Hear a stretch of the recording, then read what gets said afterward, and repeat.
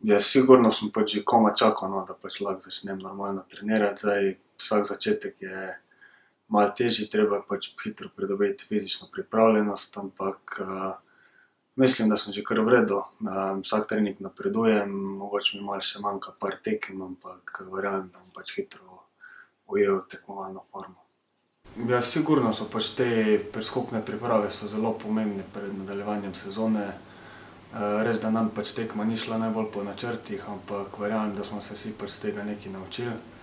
In ta teden priprav nam bo pač služil, da se pač kot ekipa čim bolj povežemo in dobro treniramo in pač verjamem, da nam bo to pripomoglo k uspešnim igram in rezultatom v nadaljevanju prvenstva. ja, pač veseli nas, da nam je uspelo v zaključku jesenskega dela se nekako odlepiti od dna. Res pa je, da pač prednost pred ekipami pred mesti, ki vodijo pač drugo ligo, ni velika. In pač to nas ne sme uspavati, moramo pač, se čim bolje pripraviti in dobro štartati nadaljevanje sezone in pač čim več osvojiti čim, čim prej osvojiti čim več točk in da pač si nekako zagotovimo mirno potem, mirno nadaljevanje in zaključek prvenstva. Ja, sigurno, pač saj vsi vemo, kaj nam lahko pokal prinese, mislim, da večina, pač veliko fantov smo že bili v tej situaciji.